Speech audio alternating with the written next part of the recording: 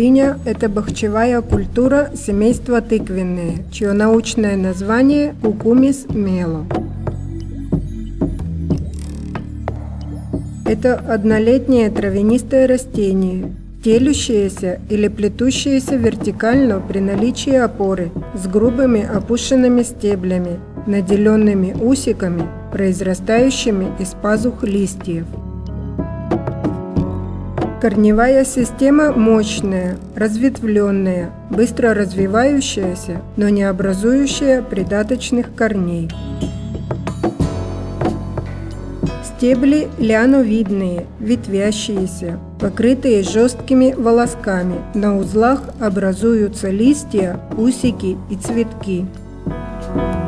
Из пазух листьев на основном стебле образуются боковые побеги второго порядка, из которых впоследствии выходят побеги третьего порядка, на которых появляются женские цветы, носители плода. Листья черешковые, очередные, покрытые волосками, лопастные, тремя-семью дольками. Край листа зубчатый, желкование пальчато-сетчатое. Цветки одиночные, желтые, пониклые и пазушные. Дыня имеет три типа цветка – мужской, женский и гермафродитный. Их появление зависит от сорта культуры, температурных и световых условий и от типа удобрений. Мужские цветки образуются в форме простых соцветий на основном побеге через 10-15 дней после пересадки и продолжают появляться во время всего вегетативного цикла растения. Женские цветки образуются через 10 дней после появления мужских. Они одиночные, большего размера, с хорошо развитым семязачатком и появляются на боковых побегах второго и третьего порядка. Плоды тыквина, представляющая собой сочный паракарпный многосемянный плод, образующийся из нижней завязи и с наличием внутренней полости, в которой расположены плаценты с семенами.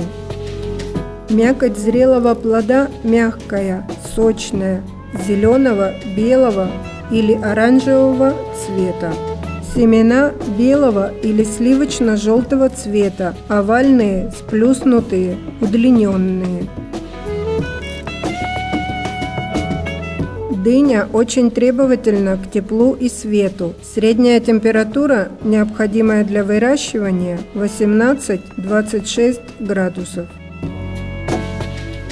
Эта культура неприхотлива к влажности воздуха. Оптимальный уровень влажности от начала цветения до созревания плодов 60-70%, хотя до начала цветения может быть чуть выше.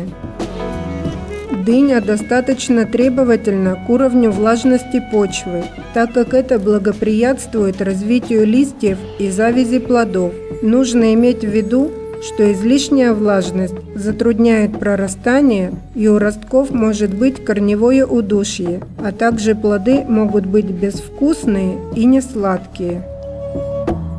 Дыня хорошо приспосабливается к разным типам почвы, но рекомендуемые почвы для ее выращивания – супесчано-глинистые, плодородные, с хорошим дренажем и с уровнем pH 5,8-7,2.